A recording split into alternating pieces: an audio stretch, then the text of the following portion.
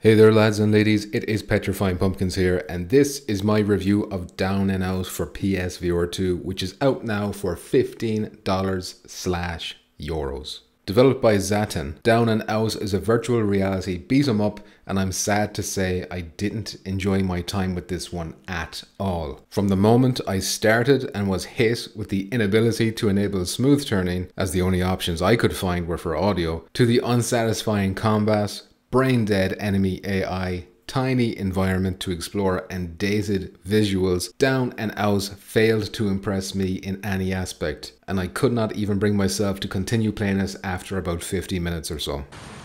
There's a dog here. Can I crouch? Give him a rub. He seems to enjoy it. Whoa. Whoa, what's your problem? So what do you do when down and out? So you'll find yourself wandering around the couple of streets that the game gives you to explore and find yourself attacked randomly by angry, ugly pedestrians while terrible fight music loops in your ear every six seconds or so.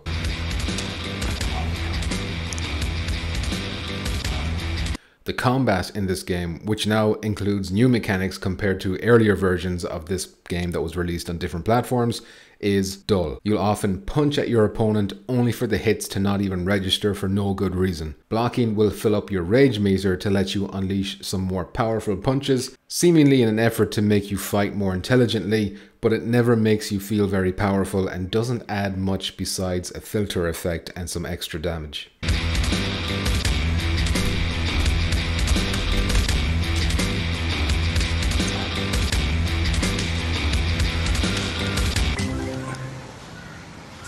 There's also a new disarm move which lets you counter attack at the last moment, but I could never even get that one to work for me. There are other objects you can pick up in the world to use as weapons, like bottles and pieces of rubbish, and throw them even, but it's never satisfying. After a fight, you'll collect some cash from your opponent and then maybe stumble upon a mission giver who can give you assignments such as defend the space while AI come at you one at a time and throw trash at them to make them run away, or there's a lost wallet in one of these five bins. Go rooting through the rubbish and find it. If you do these things, you'll be rewarded with some more cash and you can spend that cash in a couple of the enterable buildings in the game.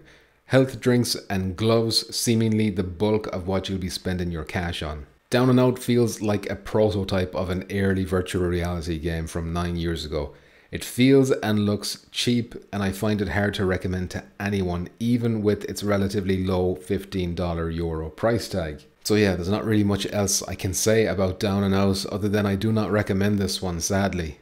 Anyway, that is it for this video, lads and ladies. Before I go, let me thank my channel members for supporting me. They are the following. Muzz, Deadeye Dan, I've never seen such behavior in the war room before. Chopped PPE, No One Knows, Movemaster Mick, the Alvo World League commentator Gamecast, Deej the Pumpkin Patch Kid, Pete Hawkins, Crumb, Mr. 777, Superfly AF, Moonshot, Armstrong Million, Blister, 86 the Mad Hatter, Pat Leading Fox Jr., Horatio Ward, Durbin Brown, Prophecy 777, Jason Ewan, and Roy Schwartz. Thank you very much for all that channel support.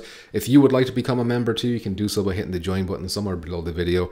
And that is it for this video. Thank you very much for watching. I'll see you in the next one. Please stay nice and moist.